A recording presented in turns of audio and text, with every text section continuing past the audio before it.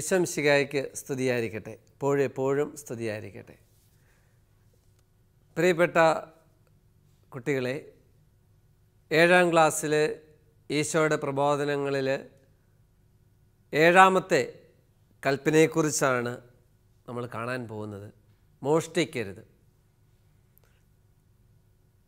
എന്റെ ജീവിതത്തിൽ ഏറ്റവും കൂടുതൽ എന്നെ സ്വാധീനിച്ച ഒരു കഥയാണ് ഞാൻ നിങ്ങളോട് പറയാൻ പോകുന്നത്. ചെറുപ്പത്തിൽ എന്റെ അമ്മ എന്നോട് പറഞ്ഞു തന്നതാണ്. ഒരിക്കൽ ഒരു കൊച്ച് വഴിയിലൂടെ നടന്നു വരുമ്പോൾ ഒരു തേങ്ങ കിടക്കുന്നത് കണ്ടു. ആ തേങ്ങ എടുത്തുകൊണ്ട് വന്ന് അമ്മയുടെ കയ്യിൽ കൊടുത്തു. ദാരിദ്ര്യം ഉള്ളതുകൊണ്ടോ അല്ല എങ്കിൽ അമ്മ ഒരക്ഷരം പോലും മറുപടി പറയാതെ ആ തേങ്ങ എടുത്ത് മോന്റെ കയ്യിൽ നിന്ന് വാങ്ങി മോനോട് പൊയ്ക്കോളാൻ പറഞ്ഞു. നാളുകൾ കഴിഞ്ഞു. ആ മകൻ വളർന്നു. ചെറിയ ചെറിയ കുറ്റകൃത്യങ്ങൾ ചെയ്ത് വലിയ ഏതോ ഒരു കുറ്റം ചെയ്ത് ജയിലിൽ കിടക്കുകയാണ്. ജയിലിൽ കിടക്കുന്ന മകനെ കാണുവാൻ അമ്മ ചെല്ലുന്നു. ചെന്ന് കഴിഞ്ഞപ്പോൾ ജയിലിന്റെ അടികളുടെ ഇടയിലൂടെ കൈ കൊണ്ട് അമ്മ അമ്മയെ ഈ മകൻ വിളിച്ചു. അമ്മ അടുത്തേക്ക് ചെന്ന് കഴിഞ്ഞപ്പോൾ അമ്മയുടെ ചെവി കടിച്ച് ഈ മകൻ എടുത്തു. എന്നിട്ട് ചോദിച്ചു എന്നാ പറഞ്ഞേ അമ്മേ ഞാൻ ആ കുഞ്ഞുനാളിൽ ആ തേങ്ങ മോഷ്ടിച്ചുകൊണ്ട് വന്നു കഴിഞ്ഞപ്പോൾ അമ്മയ്ക്ക് എന്നോട് പറയാമായിരുന്നല്ലോ മോനെ ഇത് നമ്മുടേതല്ല ഇതൊരിക്കലും നമുക്ക് സ്വന്തമാക്കാൻ പറ്റില്ല നീ ചെയ്തത് തെറ്റാണ് മേലാൽ ഇത് ആവർത്തിക്കരുത്. പ്രിയപ്പെട്ട കുട്ടികളെ ഈ ഒരു കാര്യം ഞാൻ നിങ്ങളോട് പറഞ്ഞത് മോഷ്ടിക്കുക എന്ന് പറയുന്നത് ഒരു വലിയ സാമൂഹിക തിന്മയാണ്.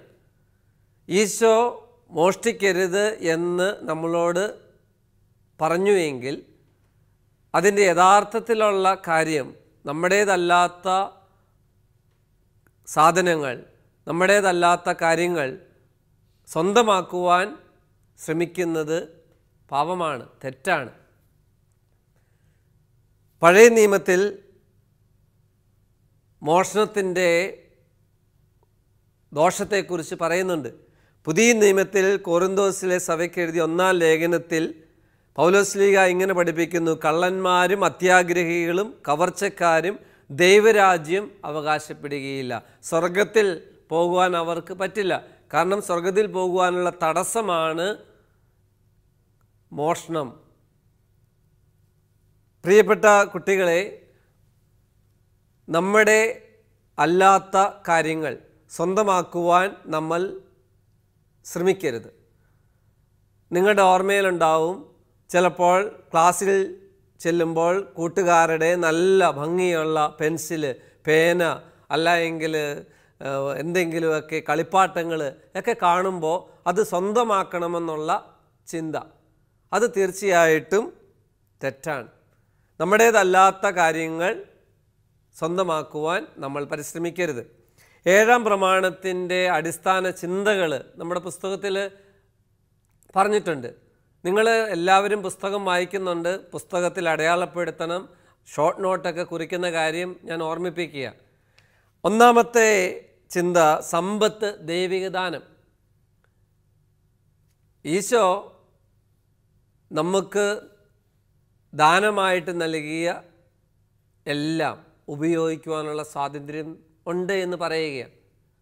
ദൈവം പ്രപഞ്ചം പ്രപഞ്ച വസ്തുക്കളും സൃഷ്ടിച്ചതിന് ശേഷം ഏറ്റവും അവസാനമാണ് ദൈവത്തിന്റെ ഛായയിലും സാദൃശ്യത്തിലും മനുഷ്യനെ സൃഷ്ടിച്ച് ഈ മനുഷ്യനോട് പറഞ്ഞു ഈ എല്ലാ വസ്തുക്കളും നിങ്ങൾ നിനക്ക് ഉപയോഗിക്കാം. അതിനുള്ള സ്വാതന്ത്ര്യം നിനക്കുണ്ട്. സമ്പത്ത് ദൈവദാനമാണ്. പണം ഉപയോഗിക്കാം. നമ്മുടെ വീട് ആ വീട്ടിലുള്ള വസ്തുക്കൾ അതെല്ലാം നമുക്ക് ഉപയോഗിക്കുവാൻ ഉള്ള അവകാശവും ഈശോ തന്നിട്ടുണ്ട്. എന്നാൽ അമിതമായിട്ടുള്ള ഉപയോഗം തെറ്റാണ്. മറ്റുള്ളവർ കൂടി അവകാശപ്പെട്ടത് എനിക്ക് മാത്രം മതി എന്ന് ചിന്തിക്കുന്നത് ഒരു തരത്തിലുള്ള മോഷണമാണ്. മറ്റുള്ളവരുടെ അവകാശങ്ങൾ മറ്റുള്ളവരുടെയും കൂടി സന്തോഷം ഞാൻ തന്നെ പിടിച്ച് എടുക്കുന്നത് തെറ്റാണ്. അതുപോലെ തന്നെ രണ്ടാ ഒരു മറ്റൊരു ചിന്തയാണ് പൊതു സ്വത്തും സ്വകാര്യ സ്വത്തും. സ്വത്തുക്കളെ രണ്ടായിട്ട് നമുക്ക് തിരിക്കാം. പൊതു സ്വത്ത് വഴി വഴി വിളക്കുകൾ അല്ലെങ്കിൽ ബസ് സ്റ്റാൻഡ് ഇതൊക്കെ പൊതു സ്വത്തുകളാണ്. സ്വകാര്യ സ്വത്ത് നിങ്ങളുടെ വീട് നിങ്ങളുടെ വീട്ടിലെ വസ്തുക്കൾ നിങ്ങളുടെ വീടിന്റെ അകത്തിരിക്കുന്ന ചില കാര്യങ്ങൾ ഇതെല്ലാം പൊതു സ്വകാര്യ സ്വത്താണ് പൊതു സ്വത്തല്ല. നാട്ടിലുള്ള എല്ലാവരും വന്ന് അത് കാണാനോ ഉപയോഗിക്കാനോ ഒന്നും പോകുന്നില്ല. നിങ്ങളുടെ വീട്ടിലെ ടി വി നിങ്ങളുടെ ഫോൺ ഒരുപക്ഷെ സ്വകാര്യ സ്വത്തായിരിക്കും. എന്നാൽ നിങ്ങളുടെ വീടിന്റെ അടുത്തുള്ള വായനശാല ഒരു പൊതു സ്വത്താണ്. നിങ്ങളുടെ വീടിന്റെ സമീപമുള്ള അല്ലെങ്കിൽ നിങ്ങളുടെ നാട്ടിലുള്ള ബസ് സ്റ്റാൻഡ് ഒരു പൊതു സ്വത്താണ്. അവിടെ നമ്മൾ വൃത്തിയായിട്ട് ഭംഗിയായിട്ട് ഉത്തരവാദിത്വത്തോടെ പെരുമാറണം. നമ്മുടെ വീട്ടിലുള്ള ടി വി എത്രമാത്രം കരുതലോടുകൂടിയാണ് നമ്മൾ ഉപയോഗിക്കുന്നത്. എന്നാൽ നമ്മൾ പൊതുസ്ഥലത്തിരിക്കുന്ന ചില സാധനങ്ങൾ കെയർലെസ് ആയിട്ട് നമ്മൾ ഉപയോഗിക്കുന്നുണ്ടോ? ഓ അത് കേടായാലും കുഴപ്പമില്ല. വഴിവിളക്കുകൾ കല്ലെറിഞ്ഞ് പൊട്ടിക്കാറുണ്ടോ?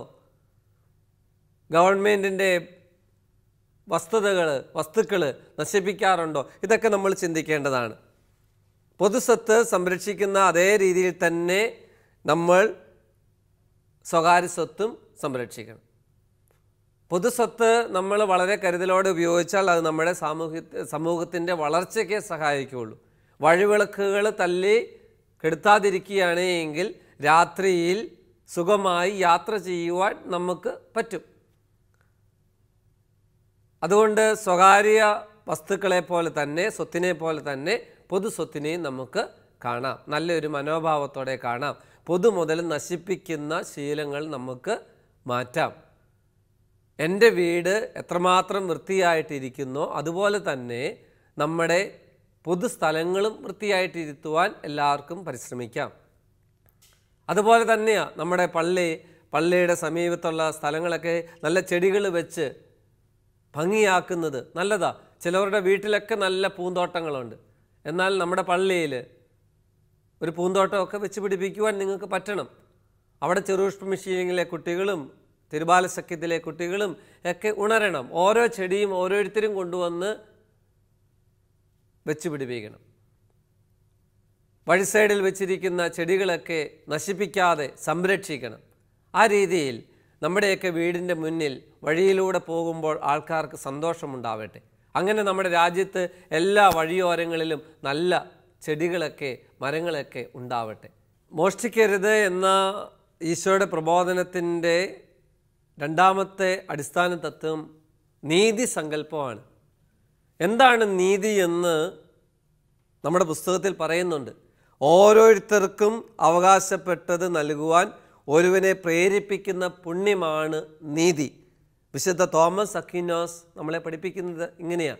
ഓരോരുത്തർക്കും അവകാശപ്പെട്ടത് നൽകുവാൻ ഒരുവനെ പ്രേരിപ്പിക്കുന്ന പുണ്യമാണ് നീതി. നമുക്കൊക്കെ നല്ലൊരു നീതിബോധം ഉണ്ടാവണം. പ്രപഞ്ച സൃഷ്ടാവായ നമ്മുടെ ജീവന്റെ ദാതാവായ ദൈവത്തെ ആരാധിക്കുവാൻ നാം കടപ്പെട്ടിരിക്കുന്നു. ആ കടപ്പാട് കൃത്യമായിട്ട് നമ്മൾ പാലിക്കണം. മാതാപിതാക്കളെ ബഹുമാനിക്കണം നമ്മൾ. അത് അവർ അർഹിക്കുന്ന കാര്യമാണ്. നമ്മുടെ കടമയും അവരുടെ അവകാശവുമാണ്. മറ്റുള്ളവരുടെ അവകാശങ്ങൾ ചെയ്തു കൊടുക്കുക എന്നുള്ളത് നമ്മുടെ കടമയാണ്. ഒരു അധ്യാപകന്റെ കടമയാണ് വിദ്യാർത്ഥിയുടെ വിദ്യാർത്ഥിക്ക് നല്ല അവകാ നല്ല അറിവ് പകർന്നു കൊടുക്കുക.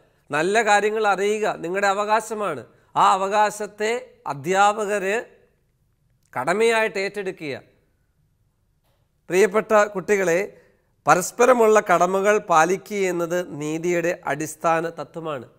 ഒരു അധ്യാപകൻ എന്ന നിലയിൽ ഞാൻ നിങ്ങൾ നിങ്ങളോടുള്ള കടമ. നിങ്ങൾക്കും ചില കടമകളുണ്ട്. പഠിപ്പിക്കുന്ന കാര്യങ്ങൾ കൃത്യമായിട്ട് പഠിക്കുക എഴുതുക. നിങ്ങൾക്ക് മാതാപിതാക്കളോടുള്ള കടമയുണ്ട്.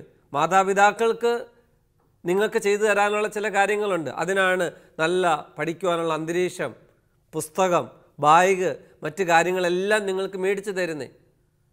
അത് നിങ്ങളുടെ അവകാശമാണ് ഒപ്പം മാതാപിതാക്കളുടെ കടമയാണ്. ഇങ്ങനെ എല്ലാ കാര്യങ്ങളും ചെയ്തു തരുന്ന മാതാപിതാക്കളോട് നിങ്ങൾക്ക് ചില കടമകളുണ്ട്. നന്നായിട്ട് പഠിക്കുക നല്ല അനുസരണയുള്ളവരായിരിക്കുക. ഇനി നമ്മുടെ സഭയോട് നമുക്ക് ചില കടമകളുണ്ട്. ഒരു സഭാ അംഗമെന്ന നിലയിൽ നമ്മുടെ ചില അവകാശങ്ങൾ ദേവാലയത്തിൽ ചെല്ലുമ്പോൾ നമുക്ക് കൂതാശകൾ സ്വീകരിക്കുവാൻ അതിനുള്ള എല്ലാ അവകാശങ്ങളും നമുക്കുണ്ട്. എന്നാൽ നമ്മുടെ കടമകൾ നമ്മൾ മറക്കുകയാണോ. ഭരണഘടനയിൽ ഭരണഘടന അവകാശങ്ങളും ഭരണഘടന നൽകുന്ന ചുമതലകളുമുണ്ട്. ഒരു ഇന്ത്യൻ പൗരൻ എന്ന നിലയിൽ ചില ചുമതലകളുണ്ട്. എന്നാൽ ചില അവകാശങ്ങൾ ഈ അവകാശങ്ങളെക്കാൾ അവകാശങ്ങൾ പോലെ തന്നെ ചുമതലയെക്കുറിച്ചും ബോധ്യം ഉണ്ടാവണം. അപ്പോഴാണ് നമ്മൾ മറ്റുള്ളവരുടെ അവകാശങ്ങൾക്ക് പ്രാധാന്യം കൊടുക്കുന്നത് നമ്മുടെ വീടിന്റെ തൊട്ടടുത്ത് ഒരു പാവപ്പെട്ട മനുഷ്യനുണ്ടെങ്കിൽ അയാളെയും കൂടി പരിഗണിക്കുമ്പോൾ നമ്മുടെ നീതിബോധം ഉണരുകയാണ് ഞാനൊരു നല്ല ഉദാഹരണം പറയാം. ക്രിസ്മസിന് നിങ്ങളുടെ വീട്ടിൽ കേക്കുകൾ മുറിക്കുമ്പോൾ നിങ്ങളുടെ തൊട്ട് വീടിന്റെ താഴെ അല്ലെ തൊട്ടടുത്ത് ഒരു പാവപ്പെട്ട മനുഷ്യനുണ്ട്. കേക്ക് മേടിക്കുവാൻ സാമ്പത്തികമായിട്ട് ബുദ്ധിമുട്ടുന്നുണ്ട്. ആ വീട്ടിലും രണ്ട് മൂന്ന് കുട്ടികളൊക്കെയുണ്ട്. കേക്ക് കഴിക്കണമെന്ന് ആഗ്രഹമുണ്ടല്ലോ എല്ലാ കുട്ടികൾക്കും. അപ്പോൾ നിങ്ങൾ അപ്പായോടോ അമ്മയോടോ പറഞ്ഞ് അമ്മ രണ്ട് കേക്ക് മേടിക്കുമ്പോൾ ഒരു കേക്ക് നമുക്ക് അവിടെ കൊടുക്കാം എന്ന് പറയുമ്പോൾ നിങ്ങളിലെ നീതിബോധമാണ്. അപ്പോൾ അവർക്കൂടി അവകാശപ്പെട്ടതാണ് നമ്മുടെയൊക്കെ സമ്പത്ത് എന്നൊക്കെ ചിന്തിക്കുക. നല്ല സമറിയക്കാരന്റെ ഉപമ നമ്മളെ ചിലത് ഓർമ്മിപ്പിക്കുന്നുണ്ട്. ആ കൊള്ളക്കാരാൽ ആക്രമിക്കപ്പെട്ട വ്യക്തിയെ അവന്റെ അവകാശമായിരുന്നു അവന്റെ ആഗ്രഹമായിരുന്നു ആരെങ്കിലും എന്നെ സഹായിക്കാൻ. അവന്റെ അവകാശത്തെ സമറിയക്കാരനായിട്ടുള്ള ആ നല്ല വ്യക്തി ഏറ്റെടുത്തു. എന്നിട്ട് ഈശോ പറയുക നീയും അതുപോലെ പോയി ചെയ്യുവാൻ. അപ്പോൾ നമുക്ക് ആ ഒരു നീതിബോധം ഉള്ള ഉള്ളവരായിട്ട് നമുക്ക് മാറാം. ആ നീതിബോധമാണ് നമുക്ക് കൃത്യതയോടെ കാര്യങ്ങൾ ചെയ്യുവാൻ നമ്മളെ ബോധിപ്പിക്കുന്നത്. ഇനി സ്വത്തവകാശവും മോഷണവും. എനിക്ക് അർഹിക്കാത്തത് മറ്റുള്ളവരുടെ കയ്യിൽ ഇരിക്കുന്നത് കാണുമ്പോൾ ഞാൻ അതിനെ സ്വന്തമാക്കുവാൻ വേണ്ടി പരിശ്രമിക്കുമ്പോൾ അത് ഒരു- തരത്തിലുള്ള മോഷണമാവുകയാണ് ചിലവർ ചില പേനകളായിരിക്കാം. ചില പണമായിരിക്കാം. ചില ഇപ്പോൾ കുട്ടികളെ തന്നെ മോഷ്ടിച്ചുകൊണ്ട് പോകുന്ന വലിയൊരു അപകടകരമായിട്ടുള്ള കാര്യം നമ്മൾ കാണുകയാണ്. മോഷണം തെറ്റാണ്. അടുത്തത് പൊതുസ്വത്തിനോടുള്ള ആദരവ് എപ്രകാരമായിരിക്കണം? നമ്മുടെ പൊതുസ്ഥലങ്ങൾ വൃത്തിയായി ഭംഗിയായി കാര്യങ്ങൾ ചെയ്യുവാൻ നമ്മൾ പരിശ്രമിക്കണം. അപ്പോൾ നമ്മളത് നശിപ്പിക്കുമ്പോൾ നമുക്ക് ആ കാര്യങ്ങളാണ് കൃത്യതയോടെ ചെയ്യാൻ പറ്റാത്തത്. അപ്പോൾ ഈശോ നമ്മളോട് പറയുക മോഷ്ടിക്കരുത് എന്ന് പറഞ്ഞാൽ നിന്റെ അല്ലാത്തതൊന്നും നീ സ്വന്തമാക്കാൻ പോകരുത്. ഒപ്പം നിന്റെ സമ്പത്തൊക്കെ മറ്റുള്ളവരുമായിട്ടൊക്കെ പങ്കുവയ്ക്കണം. നമ്മൾ അടുത്ത ക്ലാസ്സുകളിൽ കാണുന്നത് അതിനെതിരായിട്ടുള്ള ചില പ്രവർത്തനങ്ങളെക്കുറിച്ചാണ് ആ പ്രവർത്തനങ്ങളെക്കുറിച്ച് നമ്മൾ കാണുമ്പോൾ നമ്മൾ ചെയ്യുന്ന ചില കാര്യങ്ങൾ നോ പറയേണ്ടി വരും. അപ്പോൾ നമുക്ക് പ്രാർത്ഥിക്കാം. ഈശോയെ എന്നിലെ തിന്മയെ നശിപ്പിക്കണമേ. മറ്റുള്ളവരുടെ സമ്പത്തും സ്വത്തും എനിക്കുണ്ടാവണം എനിക്ക് വേണം എന്നൊക്കെ ആഗ്രഹിക്കുന്നത് തെറ്റായിട്ടുള്ള കാര്യമാണ്. സമ്പത്ത് വിവേകത്തോടെ ഉപയോഗിക്കുവാനുള്ള കഴിവ് ഞങ്ങൾക്ക് നൽകണമേ. പണം ദൂർത്തടിക്കുന്നത് തെറ്റാണെന്ന് ഞങ്ങൾ മനസ്സിലാക്കുന്നു. വളരെ കഷ്ടപ്പെട്ട് മാതാപിതാക്കൾ നൽകുന്ന പണം കൂട്ടുകാരുടെ മുമ്പിൽ ആളാകുവാൻ വേണ്ടി നശിപ്പിക്കുന്നത് തെറ്റാണ്. മറ്റുള്ളവരുടെ അവകാശങ്ങൾ ചെയ്തു കൊടുക്കുവാൻ നമുക്ക് നല്ല പുണ്യത്തിൽ വളരാം. നല്ല നീതിബോധത്തോടെ സഹോദര തുല്യമായിട്ട് മറ്റുള്ളവരെ കണ്ട് സമൂഹത്തിന്റെ വളർച്ചയിൽ നമുക്ക് സന്തോഷിക്കാം. ഈശോയെ ഏഴാമത്തെ കൽപ്പനയിലൂടെ നല്ല സത്യസന്ധരായിട്ടുള്ള ജീവിതത്തിൽ വിശുദ്ധിയോടെ ജീവിക്കുന്ന കുഞ്ഞുങ്ങളാക്കി ഞങ്ങളെ മാറ്റണമേ. ഈശ്വം ശിഖായിക്ക് സ്തുതിയായിരിക്കട്ടെ.